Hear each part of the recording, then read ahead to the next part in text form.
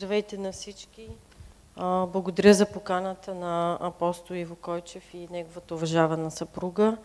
Да имам удоволствието да се запозная с вас, да ви видя и да ви разкажа за евангелските религиозни мисии сред ромите в България. Избрах тази тема, защото това е моята специалност. Виждаме ли вече слайдовете? А, това е моята специалност. Аз накратко ще ви кажа за себе си. Аз съм завършила история и етнология в Софийския университет и моята дисертация беше на тази тема за религиозните мисии сред ромите в България. А, нямам много опит от говоренето по микрофон, надявам се, че добре се чуваме. Но ако има нещо, нали, можете да ме прекъсвате, да ме питате и така нататък. А иначе съм омъжена с едно дете и а, сега за мен така ще бъде голямо удоволствие да си поговорим а, на тази определена тема. Надявам се, че ще бъде интересно. А, протестанството като световна религия. А, искам да обърна внимание на факта, че протестанството наистина е световна религия и тя не е ограничена само в България. Някъде това е официалната държавна религия за някои държави, като САЩ, Великобритания, Швеция, Норвегия, Финландия и другаде. Някъде обаче, където това не е официална религия, се превръща в вяра на бедни хора, на недоволни хора или на хората от малцинствата. Това са различни страни в Южна Америка, като Бразилия и други, Африка, Източна Европа, където се намираме и ние. Започвам с това предисловие, за да разберем за какъв глобален и световен феномен говорим, но не мога да не обърна внимание на личността на Мартин Лутер и на протестанството. Защото формирането на това а, религиозно движение е свързано с личността на Мартин Лутер, който е немски духовник. А, какво знаем за него? Може би вие дори знаете много повече от мен за него, а, но а, той се обявява като немски духовник против нарушенията в католическите общини през 16 век и главно той е против а, използването на индулгенцията. Какво означава това? Освобождаване от, т.е. възможността, когато някой мирянин е извършил грях, да се освободи от този грях посредством свещеника. Той абсолютно се обявява против тези нарушения и става известен в историята с поставянето на така наречените 95 тезиси на вратата на църквата в град Витенберг, Германия. Така започва и реформацията. Протестанството от Германия се разпространява в много страни в Европа, достига до Америка и се пространява в цял свят. Какво прави Мартин Лутер? Той прави нещо много важно и искам да ви го спомена, за да разбереме след това едно от основните така подходи на протестантската църква. Той превежда Библията на достъпен език, на достъпен немски език. Това е много важно, защото а, дори в православието, да кажем, не се използва говоримият език на населението, а се използва друг език. Основните подразделения в протестанството, кои са те? А, знаете, че протестанство това не е едина доктрина, това не е едно течение. А, те, всяко от тези течения си имат своите характеристики. Но най-общо говорим за следните подразделения. Това са лютеранство. Защо се казва лютеранство? По името на Мартин Лутер. Конгрегационализъм, в България също имаме конгрешански църкви. Това са съборните църкви, методизъм, методистите, баптизъм, адвентизъм. Това са църква на адвентистите от седмия ден и педесятничеството. На Балканите протестанството става известно и като евангелизъм. Тоест в България и на Балканите това са синоними. Можем да използваме да кажем и протестанти, можем да кажем и евангелисти – а защо се наричат евангелисти? По а, името на първите четири книги от Новия Завет. Евангелията на Матей, Марк, Лука и Йоанн. А, искам да ви обърна внимание, че а, протестанството първо се разпространява сред мнозинството. Но 50-те години на 20 век много е важно да се спомене, че 50-ничеството става много популярно сред манушите във Франция. Манушите също са така циганска ромска група. Когато един неромски пастор започва да работи с манушите, казва се Клемент Лекосе, от църквата Асамблеи на Бога и започва да евангелизира мануши, като основната му идея е да назначава пастори от тяхна среда. Вече след а, а, Франция а, това ромско движение се разпространява навсякъде в Испания, Португалия, Америка, достига и до нас. Протестантските мисии на Балканите искам да се върна малко назад, за да знаете, че на влизането на протестантството на България има една много, много дълга история, за да се стигне до ден днешен. Важно е да се отбележи, че първите проповедници по българските земи идват през 19 век и след това другите през началото на 20 век и те идват от Америка и Западна Европа. По времето, когато идват първите протестантски мисионери на Балканите, дори България още не съществува, тя е под турско владичество. И какво правят те? Те разпространяват Словото Божие на достъпен език. Това, за което ви споменах при Мартин Утър, е много важно защото превеждат Библията на майчините езици на хората, сред които работят, за да може Библията и Словото да стигне до по-лесно до тях. И основен приоритет на християнските църкви е именно развитата мисионерска дейност. Това е проповядване и разпространение на знание за вярата чрез беседи, проповеди, разпространение на брошури, литература и обучение в библейски училища първите протестантски мисии на Балканите, първите дружества изобщо, които пристигат в, на, на Балканите, това са Американския конгреционалистски борд за чуждестранни мисии. Не знам дали от тук виждате написаното. И мисионерското дружество на Методистската епископална църква. Говорим за 19 век, много, много отдавна. Двете дружества обаче се разбират помежду си да разпределят своята дейност, за да не, за да не си пречат с една дума. И а, методистите започват да работят в северна България, т.е. на север от Стара планина, а, а конгрешаните започват работа в Южна България. Затова към ден днешен, да кажем, методистски църкви има повече в Северна България, конгрешани в Южна първите мисии изобщо на протестантите са, а, са, а, не са сред роми. Те са сред арменци, гърци, българи, мисиомани, евреи и други.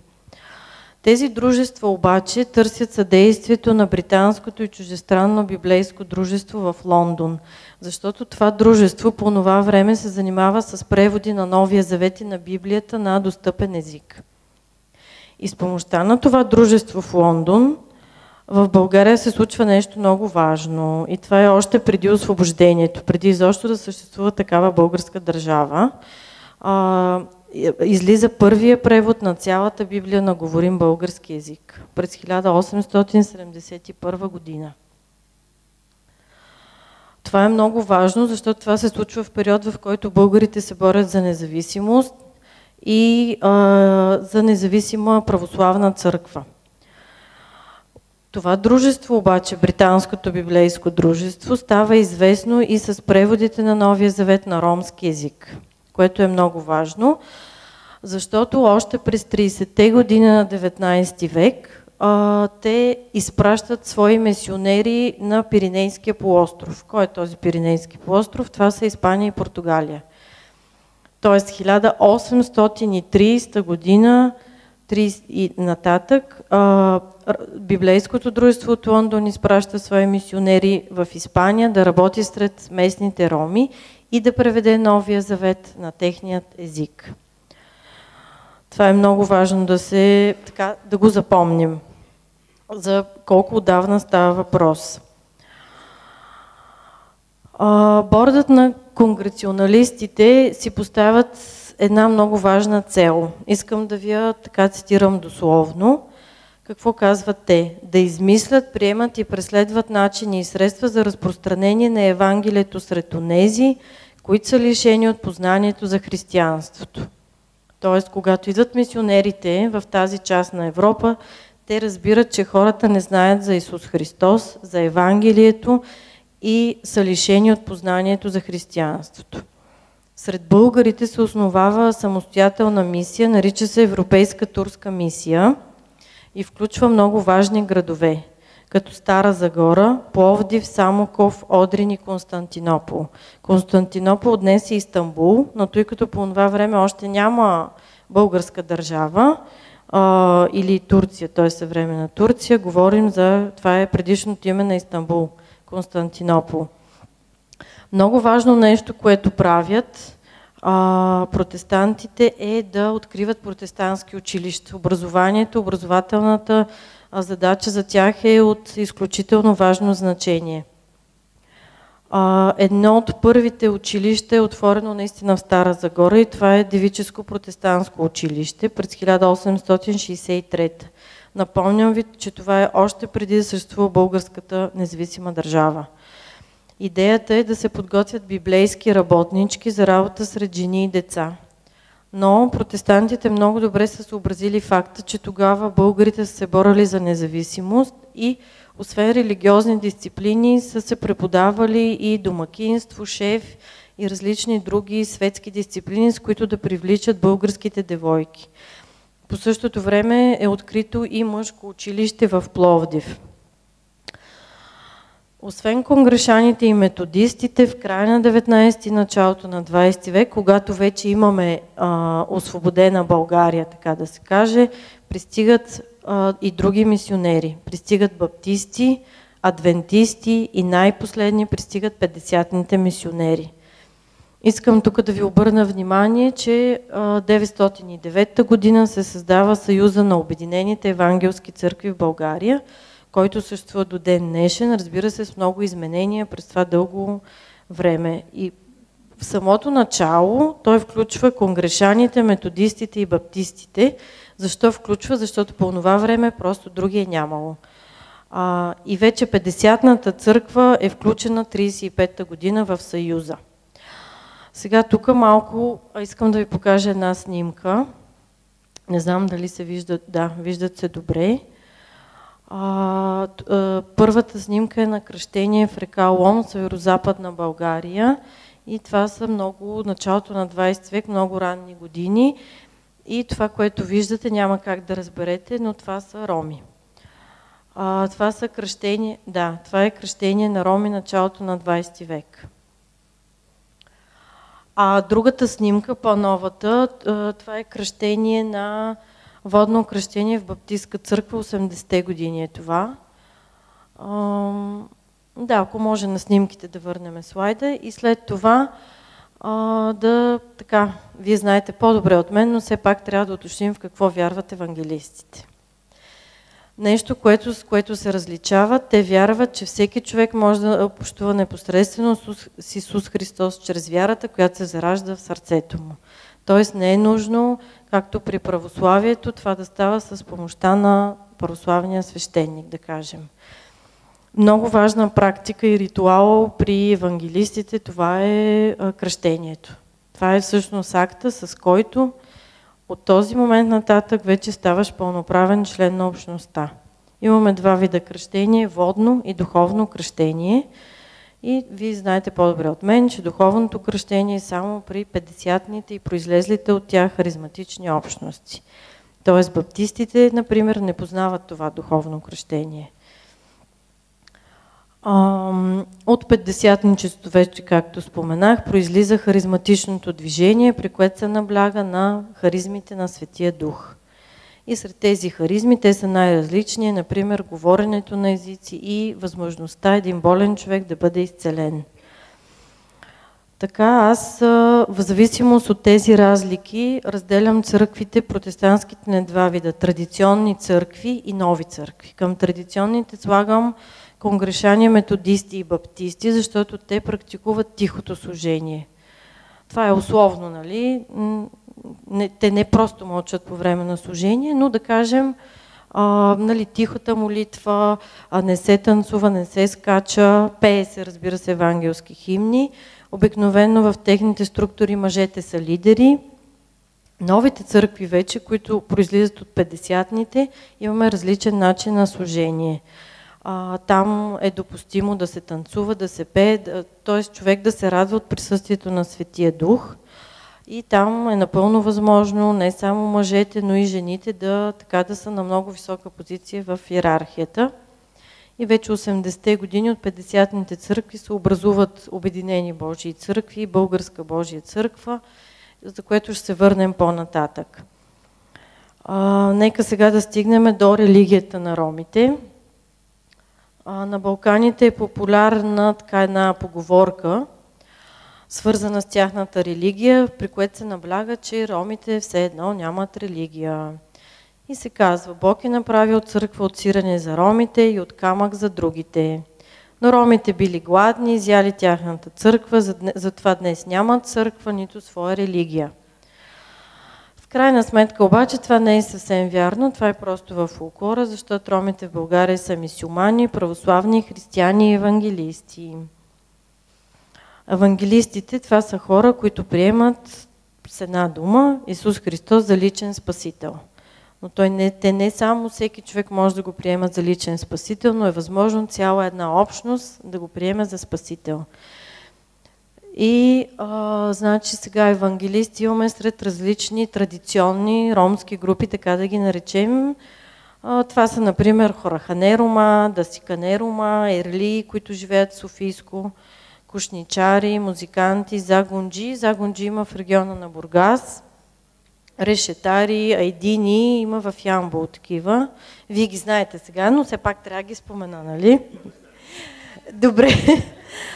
А, фичири, а, има къмчи бойли. Къмчи бойлите са в региона на Карнобат, Айтос има къмчи бойли. А, мисюмани са, говорят ромски, турски, български язик, но и от тях има евангелисти последните години. По-рядко вече има евангелисти от бургоджиите, калдаращи и тракийските калайджи, защото те са по-традиционно запазени групи. Бургоджи, това са тези, които са правили изделия от метал и живеят в така северна, североизточна България. Калдарашите са, а, хайде просто да го кажем, с златата. Те са православни християни, но и от тях, да кажем, има последните години обърнати във вярата. Но в България не е много разпространено сред тези групи да има. Обикновено при бургоджиите жените ходят на църква, мъжете смятат, че това не е тяхна работа. А, при калдаращите също по-малко, но да кажем съседна Румъния при калдаращите е изключително разпространено 50-ничеството. Там има много известни пастори, световно известни калдараши. Тракийските калайджии ги знаете много добре, защото те са тук от региона на Стара и Нова Загора. И да видим няколко снимки. това са мисюмани от Северна България. след това Гиргьовден при Калдараши и при Решетария от Северо-Западна България и една снимка на тракийски калайджи от Стара Загора – Снимките са мои, това е от 2005 година. По принцип, официално знаете, че ромите са третата най-голяма етническа общност след българите и турците, а протестантите са официално около 65 хиляди, но те са много повече. И знаете, че много съществен процент от протестантите са роми и повечето от тях са от 50-нилите или харизматичните църкви. За религията на ромите, ако може следващия слайд, кои са евангелските християни. Това са хора, които се новопокръстват, защото те преди това са били или православни, или мисиомани. Те са известни като евангелисти, протестанти, вярващи в Исус Христос, нови християни, покаяни, покръстени и помежду си вие се наричате духовни братя и сестри. Сега обаче обръщаме внимание на евангелските мисионери ромите, а това са снимки, които виждате от вярващи. Ако може предния слайд, за да ви покажа това, следващия, следващия слайд. Да, а, малко по-бавно, само ако да върнете малко назад. Така, достатъчно. А, това са калдараши. Не знам, общували ли сте с калдараши. Бабата с внучето. А след това жената е Хорахане Рома, но обърнете внимание отзад на ковьорчето. Нали, това е Исус Христос. Това е евангелизация в Лом с възрастните жени. Следващите слайдове. Това са младежи, това е началото на 90-те години. Тази снимка ми е предоставена от така мои близки а, приятели от а, Лом. А, това са младежи. Техните семейства са били а, баптисти, но те началото на 90-те години се повлияват много от 50-ните църква, Божията църква и обикалят с китари и библии да евангелизират роми.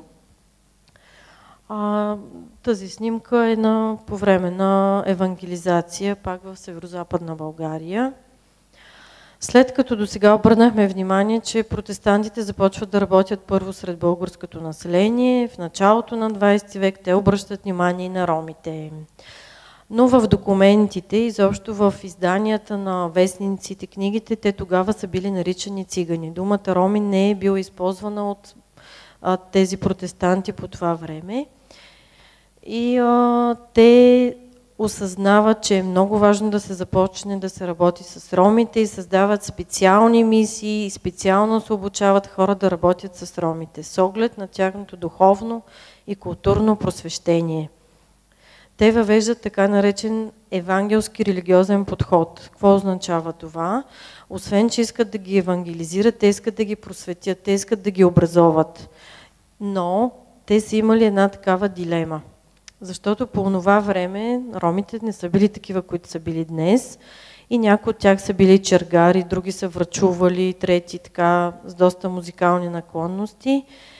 И мисионерите са били пред една такава дилема, чудили са се дали ромите могат да бъдат праведни християни такива каквито са, или трябва да се променят някои от тяхните етнокултурни черти, за да станат по-добри християни. Това е била дилемата, про която са били изправени и това аз го прочетох в списание Християнски приятел, което е издание на Баптистския съюз 39-та година. Мога да си представя това колко е отдавна. Все още дори Българската комунистическа партия не е била на власт. И сега искам да ви покажа един слайд, не знам дали може да се прочете. Цитат от списание Евангелист, пак издание на Баптистския съюз от 27 година за а, нещо, което може би всеки един от вас го е изпитвал, не знам, може би ви след това ще споделите за а, първите така евангелизации сред а, калайджиите. Калайджиите, те са били мисюмани и става въпрос за град Фердинанд. Това е днешния Монтана. А, тогава много активно мисионерите вече са започнали да работят с ромите и какво четем в списание Евангелист. Значи 27 година, комунистите още не са дошли, това е много ранна година. През месец май в град Фердинанд са били кръстени три жени от племето Калджии. Цитирам ви буквално каквото пише във вестника и тогава са наричани племена. Това са първите покръстени жени от това племе, което изповядва исляма.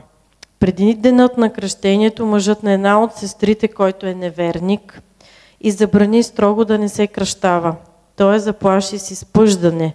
Заради мирът в техния дом ние бяхме наклонни да отложим кръщението на тази сестра, но тя заяви с дразновение, че иска да се кръсти заедно с другите и не можехме да й откажем.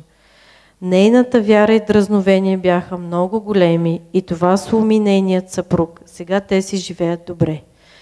Много исках да ви го цитирам това, защото може да се е случило на всеки един от вас, когато има първият повярвал семейството, другият така се противопоставя, но в крайна сметка вярата помага семействата да останат заедно и те да живеят добре. Това, е, това са изпитвали и хората преди повече от един век. Кои са първите евангелски мисии?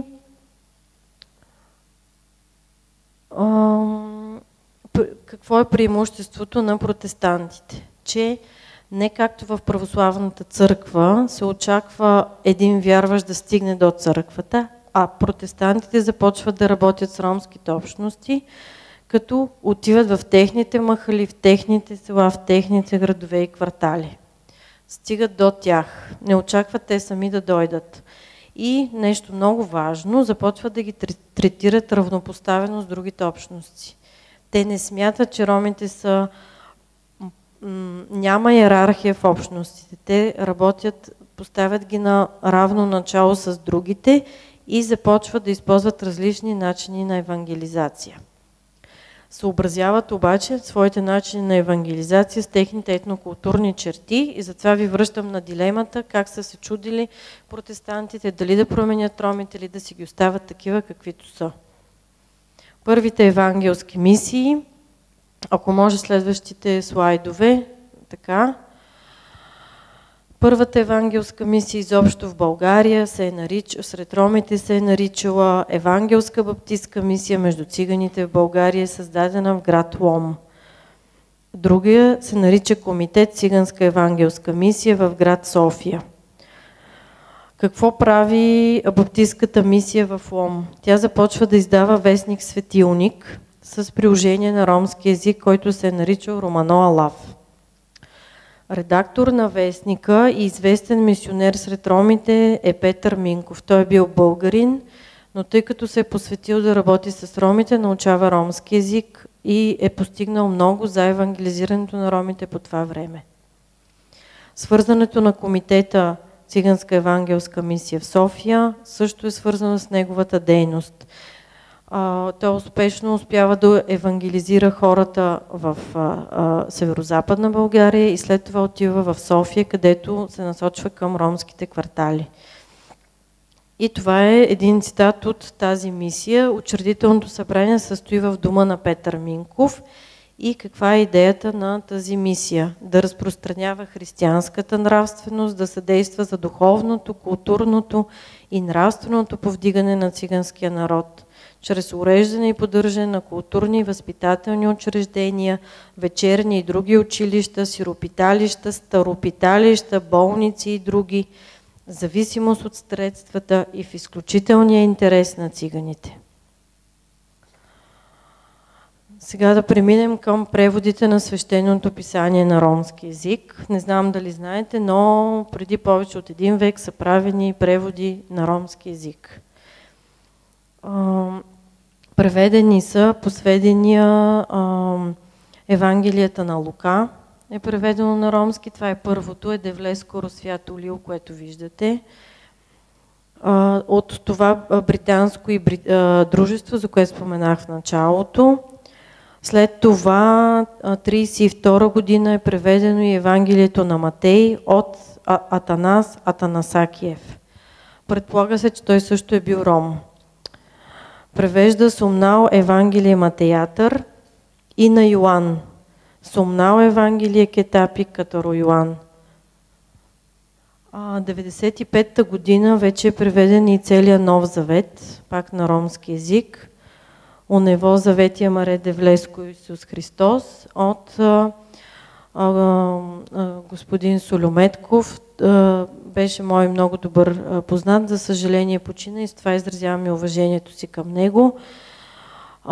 той също посвещава голяма част от живота си на, на вярата си в Исус.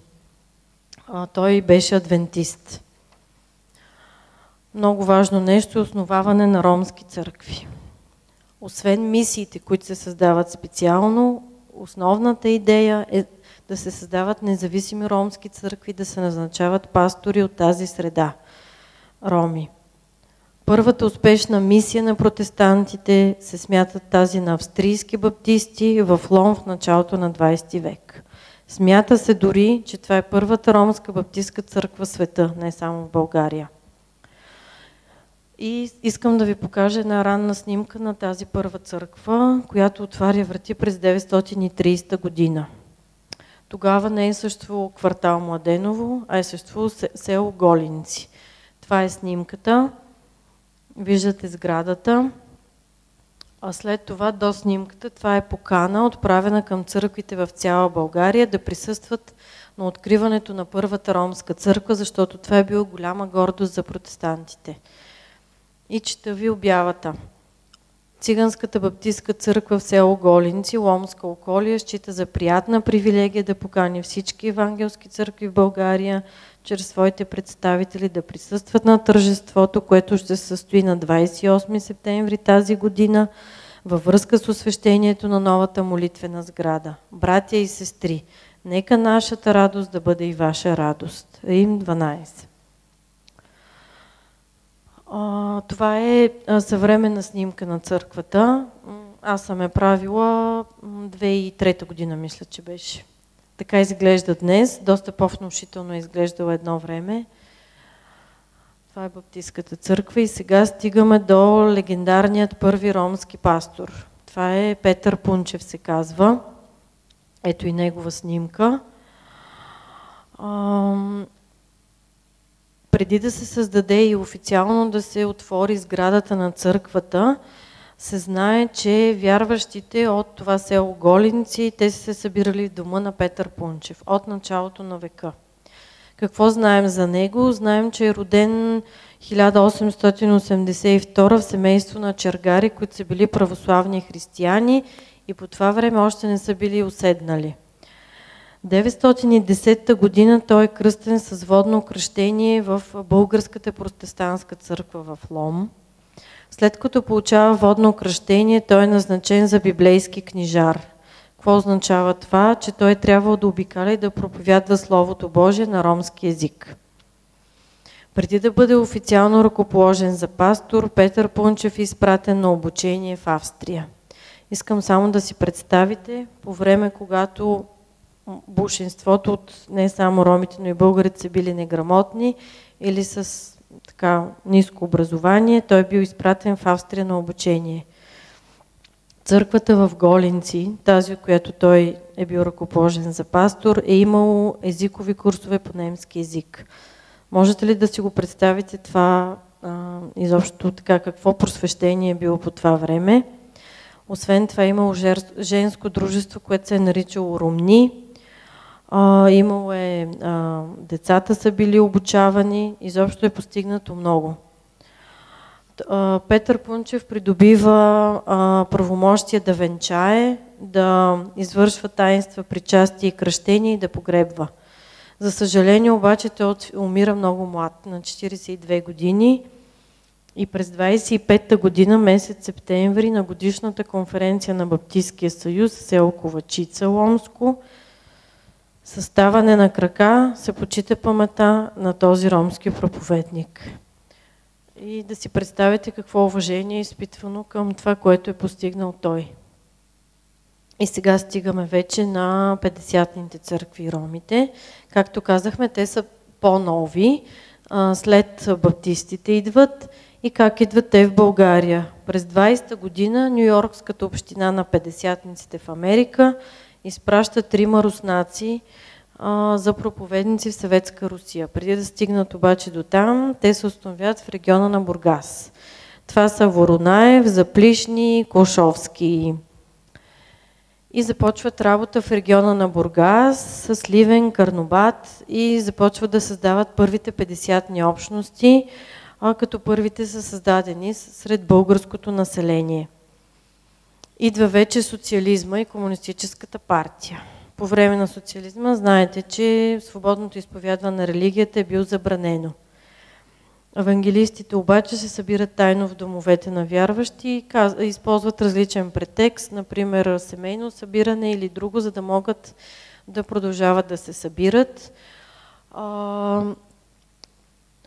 Вече 40-50 години евангелското 50-но движение започва да се разпространява и сред ромите, като се смята, че първите са били в Ямболско имаме един пастор Шабан, който вероятно е бил от махалата в Ямбол и той е бил много известен, защото се е смятал, че може да изцелява болни, българи и роми. Той не е ограничавал своята дейност само сред ромите, но и българите.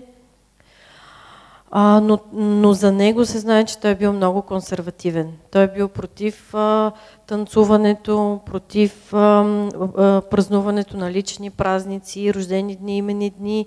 Тоест той е смятал, че вярата е свързана с а, изключително стрикно посвещение само на религията, без а, така други забавления. Вече 70-те и 80-те години 50-те идеи се разпространяват сред ромите в София, Лом, Монтана, Видин, Казанлък и другаде. Какво се случва след края на социализма? Официално са възобновени правата на сдруженията, църквите, но, както ви казах, те тайно се събирали и повечето от тях не са напълно разрушени. Хората се събирали в домашни условия, в така наречените домашни църкви, които са така запазили устоите на вярата. В началото на 90-те години евангелизма обаче а, започва да набира много последователи вече и сред по-бедните, организираните общности, индивиди, но след това този процес се стабилизира и вече повечето хора, които ходят в църквите, са по убеждение. А, вече можем да говорим, че евангелската вяра чрез светокръщение сред ромите е световен феномен, не е само за България. И днес вече съществуват разнообразни ромски църкви. Най-многобройни са 50-ните и харизматичните, но има адвентни, конгрешански, баптистски, методистски и други. И тук вече примери съм споменала, включила съм и вашата църква, разбира се. А, нали, аз не мога да изброя, те са много. Много са. Повечето съм ходила лично. И какво означава, искам да наблегнем на това, какво означава ромски евангелизъм. Това означава, че под влияние на протестанството и евангелизма се развива процес на еманципация сред ромите, който е съпроводен с образуване на религиозни общества, строеж на църкви, утвърждаване на духовни водачи от средите на общността. Тоест, това се превръща в тяхна религия.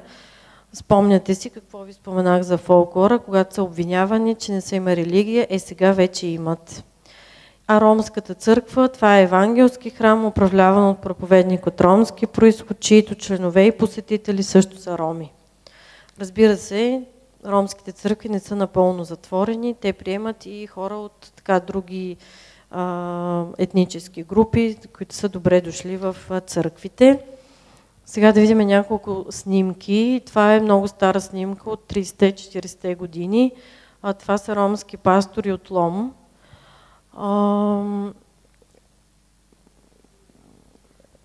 след това, това са от София, Едните, едната е от квартал факултета, другата от квартал Христо Ботев. Първата, може ли само да не... Да, първата снимка а, е от квартал Христо Ботев. Тя се нарича Горница. Не знам дали сте чували за нея. Нарича се Горница, защото по време на комунизма и българи и роми са се събирали на тавана в тази къща да проповядват. И така е останало нейното име Горница. Другата е от а, факултета. А черно-бялата снимка, която виждате, е от Ромска адвентна църква в квартал факултета, но пастора е българин, възрастният. Следващите снимки са в Плевене, хубавата модерна сграда. По-бедната църква е в Горно езеро в Бургас по това време, когато съм правила снимката, е, бъл, е било Българска Божия църква, посетителите са само роми. Това е Баптистска църква, пастора на Амвона, който виждате от Лом. И другата е Шалом е от Ямбо, но църквата, снимката също е правена много отдавна, така че може би сградата вече не изглежда съвсем така. Божия църква Ветила от Лом. Тази снимка с хората е от Бургас също. Това е църква на Милета. Не знам дали сте обсъждали тази общност. Те са турско говорящи и повечето са жени, както виждате, но пастора е така. Какъв е начин на работа на 50-ните и харизматичните църкви с много ясно изразена образователна насоченост?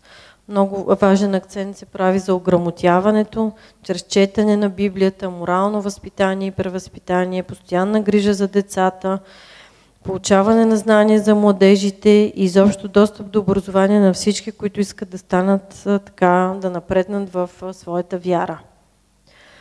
Подходът на тези мисионери, т.е. днешните 50-ни харизматичните, е сходен на този на традиционните протестанти, но тяхната дейност е много широко обхватна. Какво означава това? Използват се различни средства за разпространение на Евангелието, т.е. проповеди се правят, просветителска дейност в ромски махали, квартали, религиозни събирания, строят се молитвени домове. Някои ромски квартали има по 5-6 и повече църкви. Изобщо променя се начина на живот на хората и облика на махалите, той вече е съвсем различен. Вярата при 50-ните и харизматичните общности най-важно е силата в Светия Дух и неговото харизматично потвърждение. И 50-ната мисия вече е многопосочна. Но тя иска изцяло да промени човека, който трябва, като приеме новата вяра, трябва да скъса с предишния си начин на живот. Тоест той трябва да забрави всички свои навици, които се противопоставят на вярата. И затова казваме, че евангелистите правят една такава граница за живота преди и живота след кръщението. А тези, които не са приели вярата, за тях те водят светски живот. А евангелският начин на живота е живот във вярата. И той може да има най-различни проявления, например да не се слуша светска музика, да се слуша евангелска музика. Начина на обличане може да е различен. Жените, да кажем, не е прилично да са така къси полирокли. Може да бъде мъжете да са в костюми, т.е. особено когато има празници, много се държи на начин на обличане, всеки да има приличен вид, да прави впечатление, защото се вярва, че всеки един трябва да е пример за останалите. Неговото морално поведение трябва да е пример. Освен това, 50-ната мисия при евангелизирането е насочена към създаване на независими общества. Тоест, позволява се ромските църкви да имат някаква независимост от тяхната деноминация. И всяка църква вече се приема като храм на Светия Дух, а членовете имат възможност индивидуално да преживеят тази сила на а, Светия Дух. И вече а, искам да наблегна на морала и на лидерството. Морал е много важен при евангелистите. Уважението към другия, уважението към себе си, към собственото семейство. Моралното поведение е много важно за всеки един човек, защото, както казах, той трябва да е пример. И естествено, най- най-добър пример за всички е пастора на църквата. Той е пример за абсолютно всички както и в много църкви, неговата съпруга и неговото семейство. Те са пример за останалите. И основен акцент вече при харизматичните 50-ните църкви е лекуването чрез силата на Светия Дух.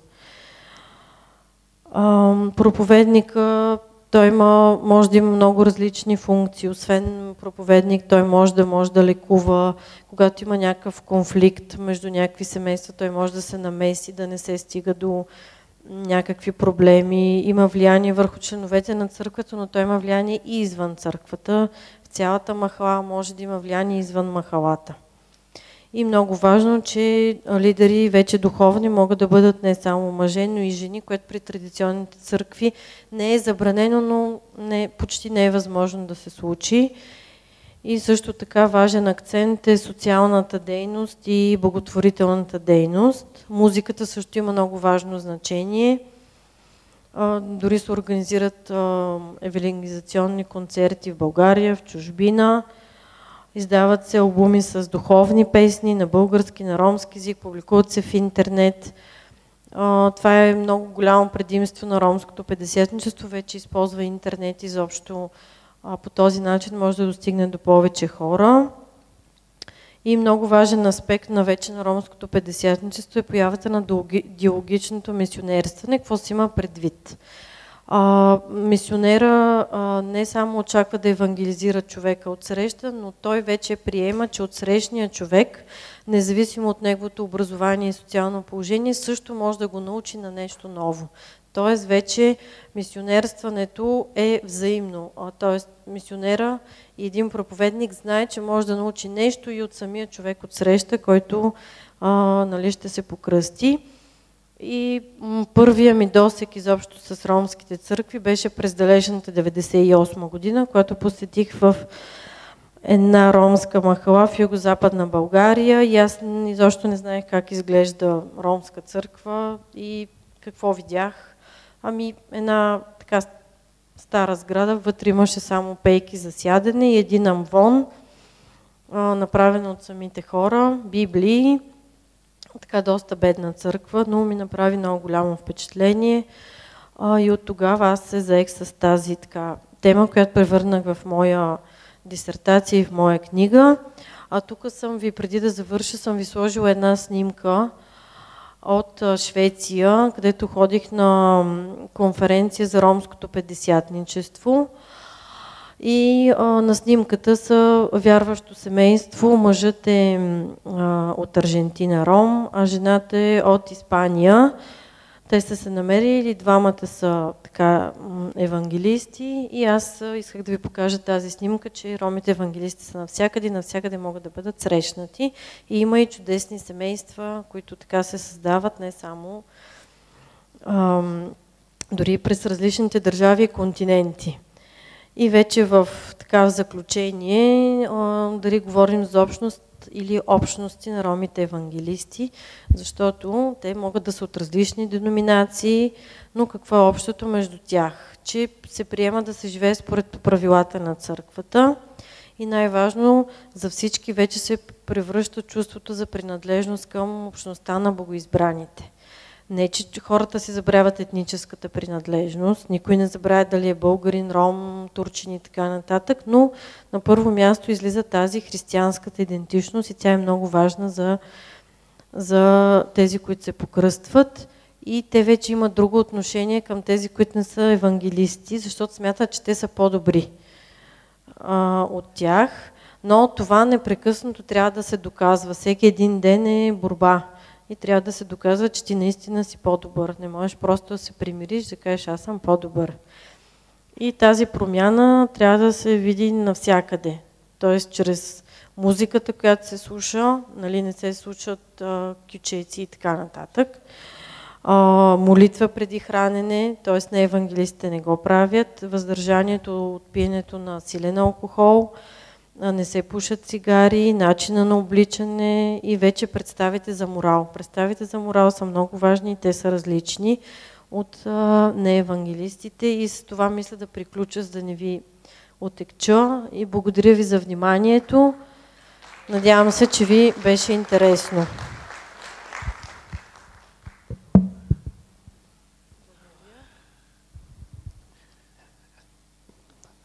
Благословени ли сте? А, така ли иначе ние минаваме през това, през всичките години сме минали през това, но друго е когато, така да се каже, външен човек идва и го презентира и осъзнаваш а, колко е важно а, живота ни с Христос, колко важно е, важни са неговите процеси в нашия живот. Много съм докоснат от презентацията в смисъл, че виждам цялата история, как Бог се движил в ромския етнос и чрез ромския етнос в България. Но а, ще дам малко почивка, да така малко да се освежите и след това а, доктор Пламена Стоянов ще бъде следващия а, лектор. Така, бъдете благословени. Почивка. Озария има там, ами 10 на 15-20 минути там някъде. Ще, ще, 20 е много, 15 минути. Да пинете чайче там отзади, сладки има и така.